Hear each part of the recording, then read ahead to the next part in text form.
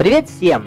Сегодня хотелось бы поговорить, конечно, о нескольких фичах или секретах Windows 8, но сегодня мы поговорим об одном из клиентов Твиттера, а именно о самом Твиттере. В принципе, в магазине есть куча приложений. Твиттер, Твитио, еще что-то подобное. Есть также Twitter Plus, но он платный. Кстати, в чем прикол? Твиттер недавно стал тоже бесплатным, и я воспользовался возможностью и поставил себе посмотреть, чем же он отличается от обычного клиента, если смотреть э, браузерно. Собственно, запустим.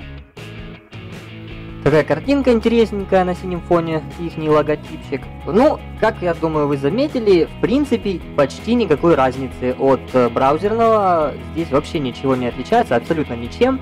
Э, есть те же самые главное, ну, правда, есть вкладка на связи, поговорим о ней позже, в курсе, вкладка «Я», то есть ваша личная страница.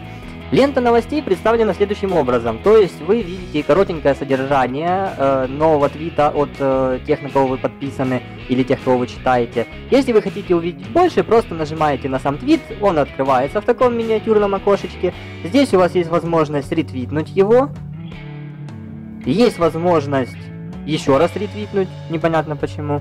И, собственно, добавить, ой, пропало, добавить его в избранное. Выделяется таким оранжевеньким, но оно не надо, оно не избранное.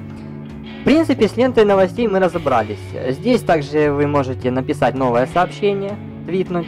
Кстати, по-моему, вот это как раз и есть то же самая кнопочка, только ярлычок другой. И можете включить поиск.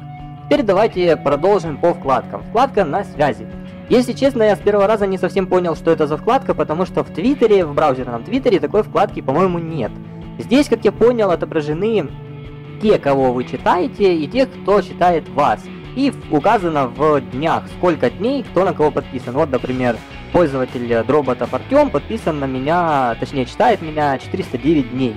И также о других пользователях здесь вы можете найти информацию. В курсе. В курсе здесь, э, как и в Твиттере, реализована поддержка новостей, то есть все интересные новости, которые выкладываются в Твиттер, отображаются в, именно в этой вкладке. То есть можете посчитать, э, что касается вашей страны, не вашей страны, э, за границей и прочего. И добрались наконец-то до вкладки главной, ну то есть не главной, а вкладки «Я», моей персональной страницы. Оформлена она весьма неплохим образом. Слева вся информация о вас, справа, собственно, ваши твиты – подробненько о ярлычках. Э, ярлычок сообщения. Э, нажав на этот ярлычок, вы можете создать новое сообщение какому-нибудь пользователю, э, который читает вас или на которого, которого читаете вы. Вкладка «Избранная», сюда добавляются ваши избранные твиты, которые вы э, отбираете и ставите вот ту звездочку оранжевенькую. Они все попадают сюда. Кстати, в предыдущей версии Твиттера не было списков. Теперь они появились, то есть теперь у вас появилась возможность создавать такие же списки, как и при просмотре Твиттера браузерно. Твиты, здесь информация о всех ваших твитах, э, те, кого вы читаете, и те, кто читает вас. В принципе, оформлено все весьма неплохо. Можно, кстати, сравнить с э, самим Твиттером э, в браузере и посмотреть, чем же они отличаются. Вот как раз загружается сразу моя страница, то есть э, то же самое вкладка главная, организована почти таким же образом, посередине у вас э, все ваши новости, новые твиты, здесь небольшая информация о всем, уведомления. Вот уведомлений, кстати, нет. Может быть, э, уведомление это вот это вот как раз вкладка э, на связи, но хотя она организована немного другим образом. Перейдем опять в оперу. В курсе Здесь вот как раз все ваши новости. Кстати, можно просмотреть твиты. Здесь действия. Ну да ладно, не буду рассказывать о браузерном, так как вы это и так все умеете пользоваться этим.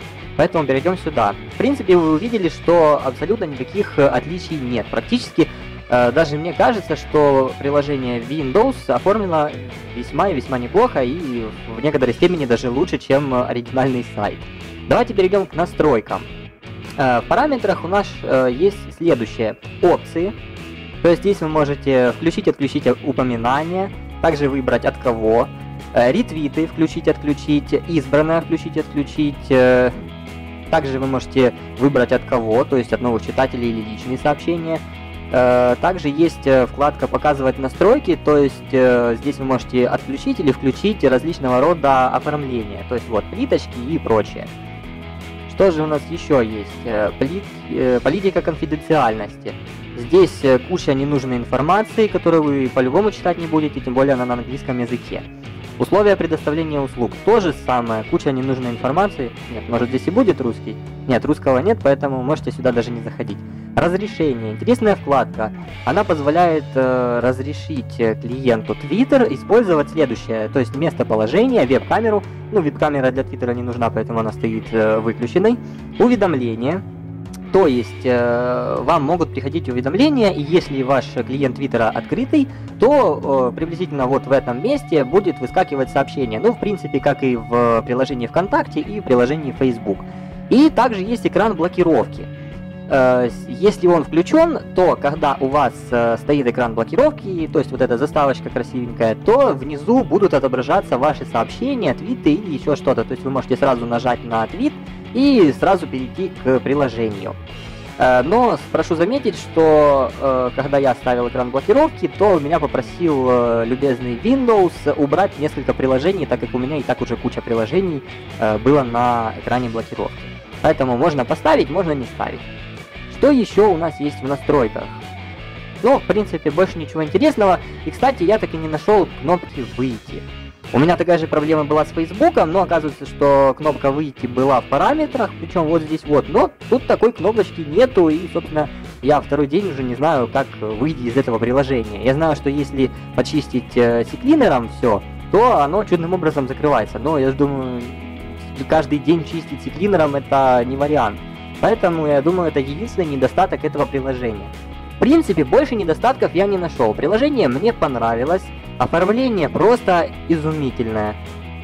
Придраться не к чему. Мне здесь все нравится, особенно э, то, как вы можете просматривать ваши новости. То есть открывать сообщения в такой э, мини-плиточке. Вы можете открыть такую небольшую плиточку, где сразу есть и отзывы и прочая бурда. Собственно, давайте теперь перейдем об оценке. Я думаю, что приложение можно оценить почти на все 5 баллов. Единственное но, это, как и сказал э, несколько секунд назад, что отсутствует кнопка выхода.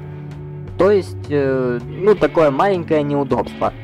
В принципе, приложение для пользователей Twitter будет очень и очень удобным, очень выгодным, потому что у вас буквально под рукой сразу же есть э, такой клиент, который будет вас уведомлять о вновь созданных э, твитах или пришедших вам сообщениях. Но так как э, люди в странах СНГ не сильно пользуются приложением Twitter, то, скорее всего, это приложение так и останется все-таки популярным больше среди пользователей Британии, ну и других стран Европы. Над этом, я думаю, э, обзор можно закончить. В следующих видео ждите два очень интересных приложения Windows, можно сказать, уникальных новинки именно э, операционной системы Windows 8.1. Поэтому не упустите возможности, подписывайтесь на канал и следите за нашими новыми видео. Спасибо за то, что досмотрели видео до конца. Всего хорошего. Пока.